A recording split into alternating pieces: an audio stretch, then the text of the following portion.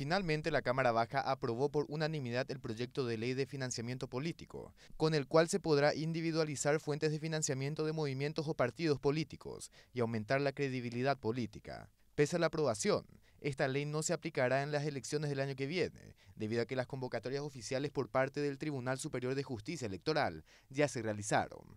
El proyecto fue aprobado con modificaciones, en las cuales la Secretaría de Prevención del Lavado de Dinero o Bienes y la Subsecretaría de Estado de Tributación quedaron como fiscalizadores, que no deben transgredir las tareas del Ministerio Público.